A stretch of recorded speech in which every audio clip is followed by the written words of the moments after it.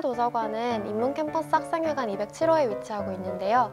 오전 10시 반부터 오후 6시까지 개관 중일 때 아무 때나 오셔서 어, 책을 빌려가시거나 열람하실 수 있습니다. 다만 학생증으로 대출하실 수는 없고요. 대출증을 따로 만드셔야 하는데요.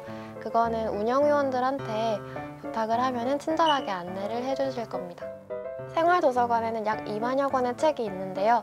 이 책들은 학생 운영위원들이 직접 고민하고 선정해서 산 책들입니다. 생활도서관은 원래 군부 독재 시절에 그 금서로 지정되었던 책을 숨기기 위해서 만들어졌다고 합니다. 또 그때 중앙도서관의 시설이 낙후되어 있었을 뿐만 아니라 대학교 학생들에게만 개방되어 있었던 점을 문제의식을 가지고 도서관을 지역 주민들에게 돌려준다는 취지로 만들어졌다고 해요. 그래서 지금도 고려대학교 생활도서관은 고려대학교 학생들뿐만 아니라 모든 사람들에게 다 열려있는 공간이고요.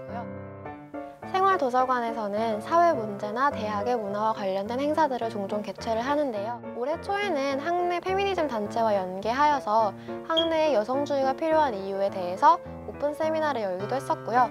또 동아리 연합회가 이곳에서 위안부와 관련된 토크 콘서트를 열기로 했습니다. 또 세월호와 관련된 행사 그리고 어, 노동이라는 문제를 다루는 영화 상영회를 기획하고 있습니다.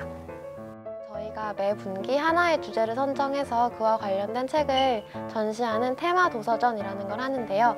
이번 분기 주제는 이슬람입니다. 음식, 뭐 여성, 그리고 역사나 종교 등 다양한 관점으로 바라본 이슬람에 대한 책들을 소개하고 있고요. 어, 이 책들은 생활도서관에 들어오자마자 보이는 큰 테이블에 전시되어 있으니까 많이 보러 오셨으면 좋겠습니다. 사람과 이야기가 있는 곳이라고 생각을 합니다. 저는 종종 여기를 해리포터에 나오는 필요의 방에 비유를 하고는 하는데요. 어, 사람이 와서 자신이 필요한 걸 얻어갈 수 있는 공간이라고 생각합니다.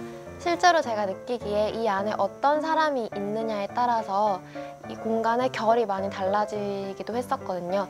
그래서 책이 필요한 사람은 와서 책을 읽을 수 있고 토론을 하고 싶은 사람은 와서 고민과 이야기를 나눌 수 있고 또 기억이 필요한 사람은 와서 생활도서관이 아카이빙하고 있는 어, 학생 자치 자료나 그리고 옛날 교지들을 보고 있을 수도 있습니다.